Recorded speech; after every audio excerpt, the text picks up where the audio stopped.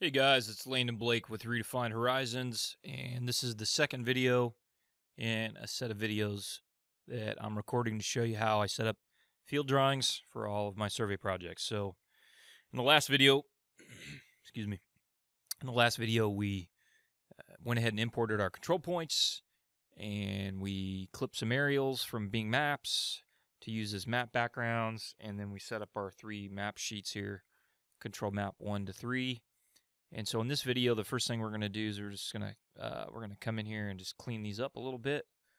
Uh, so one thing I want is I want to keep these higher res photos on the top, but I'm going to turn the Bing Maps background back on, and I'm going to go ahead and capture a couple of these uh, at a little lower resolution, uh, higher, uh, but a bigger footprint here. And we'll turn that off, the map, Bing Maps background, and then we'll put these new images, larger images we cropped on the right layer. So now when we go into our maps, we've got that background. It's a little lower resolution, but we've got it around the edges. So the other thing we want to do is we want to let's set this annotation scale to the right uh, right annotation scale. So we're going to be at 1 to 100. First thing I want to do is get rid of all the ones we're not using. So let's go ahead and add 1 inch equals 100 feet.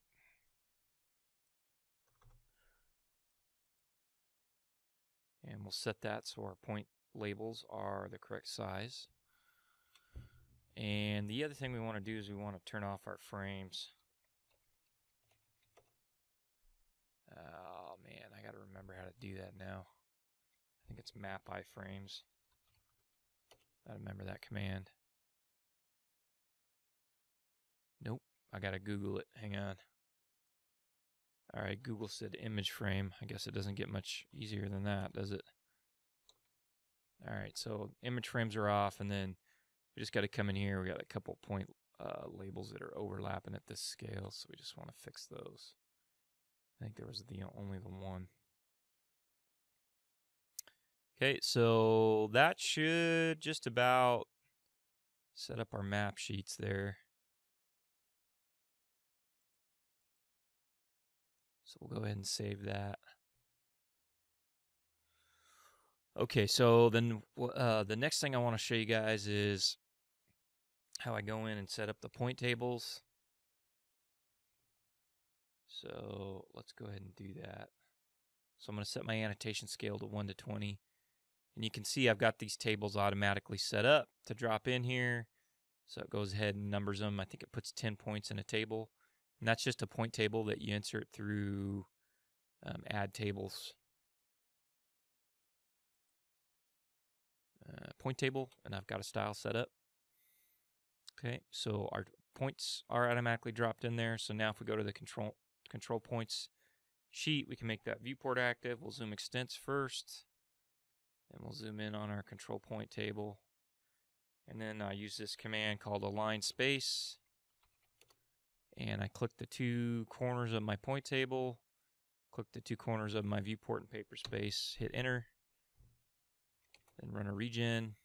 That's now the right size.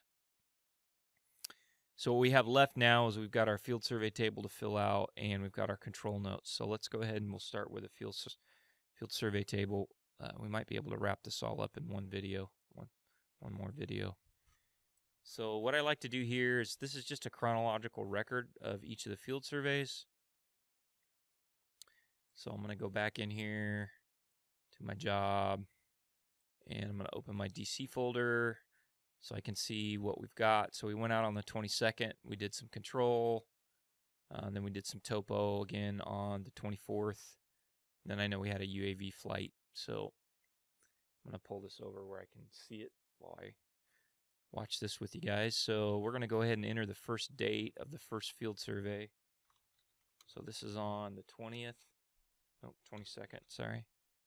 And my party chief was Randy.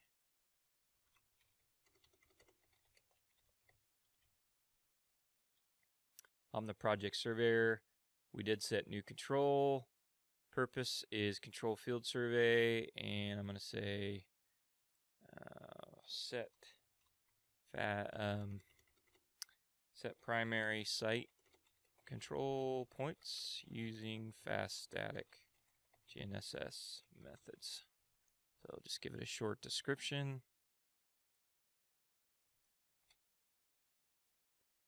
And notes on control. So we want to just go ahead and jump over here. We've got control point 1 to 41.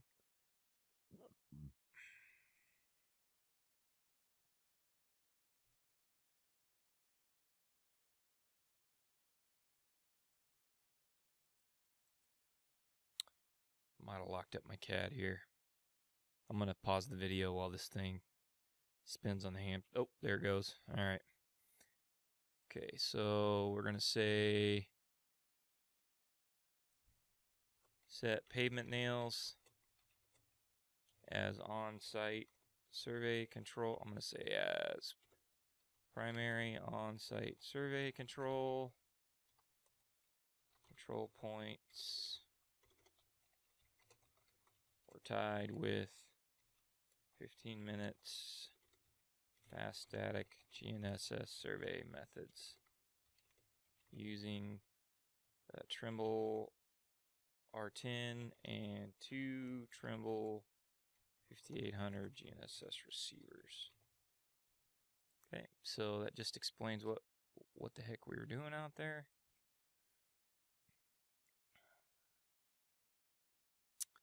All right.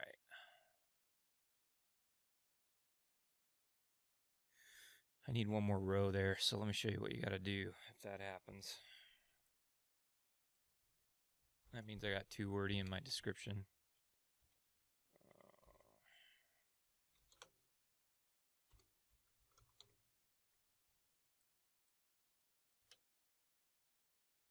So what we're going to do is we're going to move these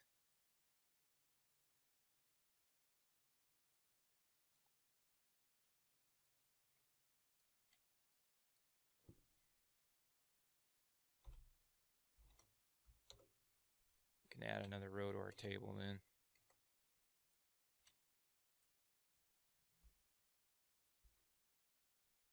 And so this one we're going to just change the layer of this line here.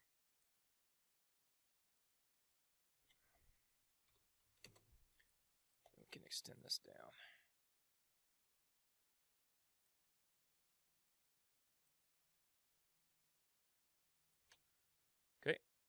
All right, so we know what we did the first day. Then the next day I've got here is the 24th.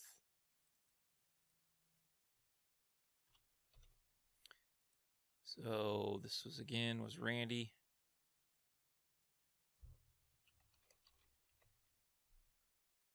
Uh, we did not set new control points this day.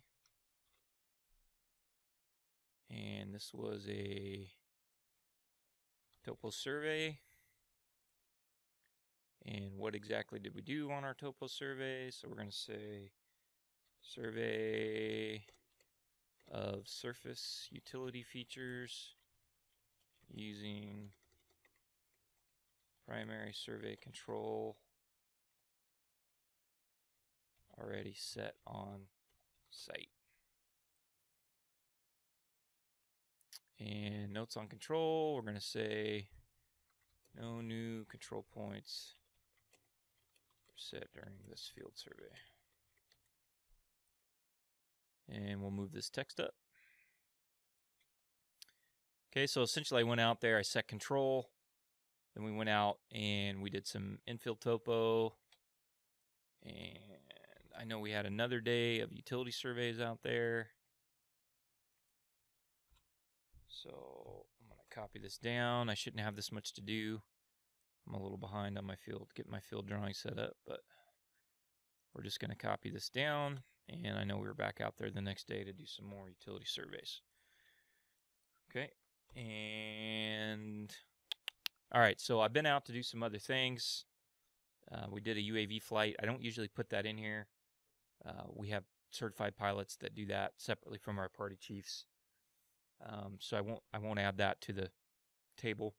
Uh, but I know I'm coming out. We're going to uh, finish the utility feature survey. We're also going to scan some buildings so we can get some accurate building footprints. And we're going to do some boundary, uh, search for some property corner monuments, do, do some boundary surveying. So I'll probably have two, maybe three more entries here into the field survey table. But now if you come over here to the field survey table layout, we can make that viewport active. And oops, it's locked. So we'll unlock it.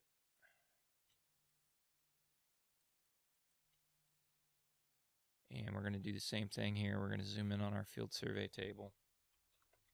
And I'm going to do my run my align space command click the corners of my table in model space, click the corners of my viewport in paper space, hit enter, do my regen. So now we've got our field survey table set up here.